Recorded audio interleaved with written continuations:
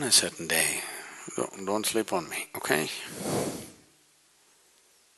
A man was going about selling hats in the tropical heat of India. Village to village, selling hats.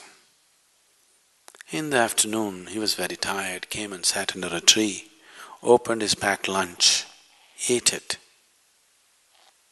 dozed off. After some time, he opened his eyes. To his dismay, all the hats were gone. He looked around, where are the hats, where are the hats? He couldn't find them anywhere.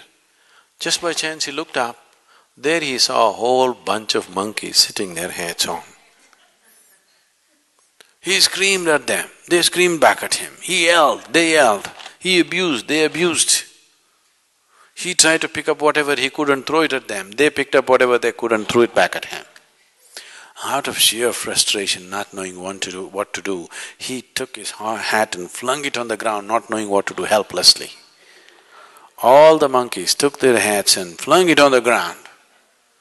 He picked up these hats and went about selling hats.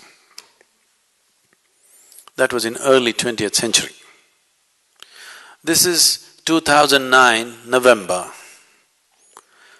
Another hat seller going about selling hats in the summer season and in the afternoon he came and sat under a tree.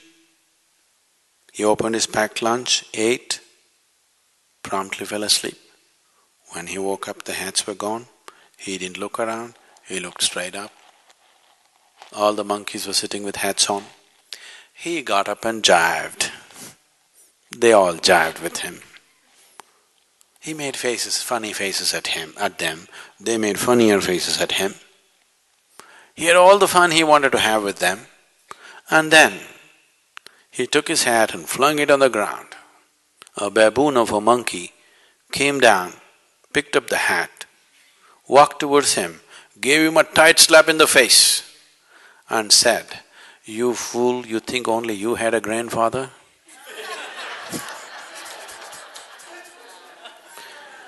There is scientific evidence that monkeys are evolving. About human beings, there is no such thing. because what is human cannot evolve unconsciously. When you were a monkey, you… I'm sorry, I did not say this, Charles Darwin, you know, not me, okay? I am not calling you a monkey. Charles Darwin said, all of you were monkeys, your tail fell away and you became human. When you were a monkey, you did not desire, I want to be human. Nature just pushed you on. But once you become human, now either you evolve consciously or you stagnate, that's all the choice you have.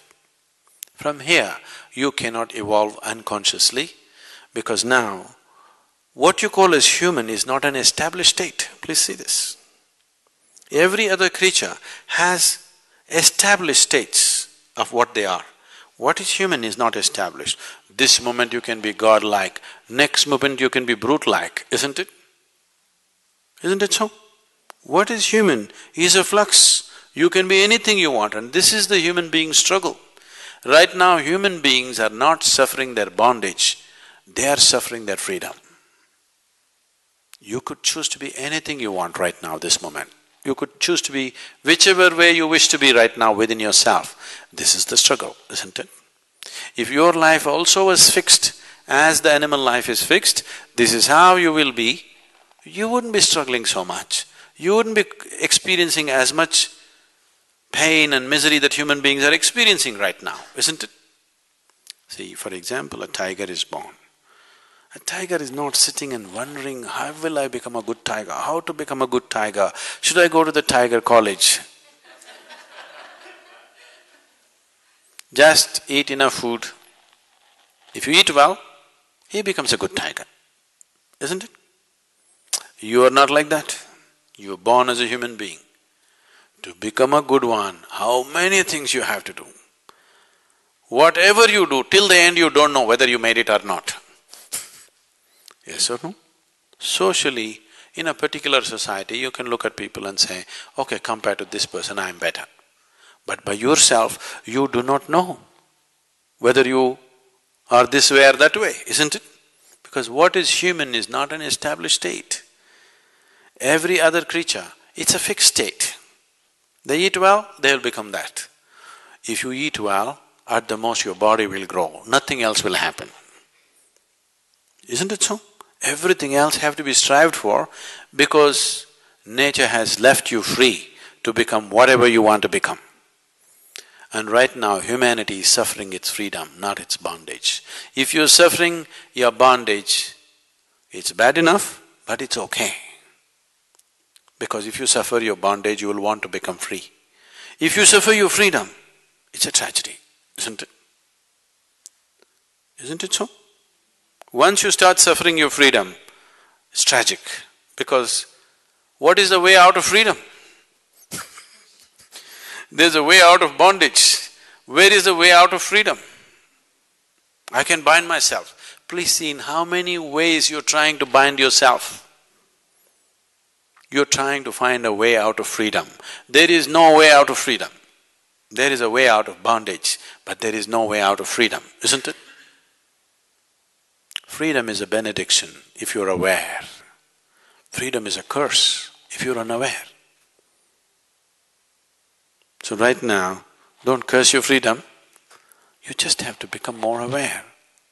Starting with this, how this works. If you become aware, then this freedom is such a fantastic thing. Such a beautiful thing it is. Because you could be whichever way you want. You could be whatever you want right now within yourself. No animal, no creature has this freedom except the human creature, isn't it? Isn't it so? Shall we exploit this or no? Hmm? If you do not choose, if you remain a compulsive creature, you cannot call yourself a full-fledged human being. That's why I said it's an evolutionary problem. Only when you're able to do everything by choice, you can say, I'm human. Because a human being essentially means he is what he is by choice. If he becomes compulsive, he's like any other creature, biological, that's all. Nothing more will happen.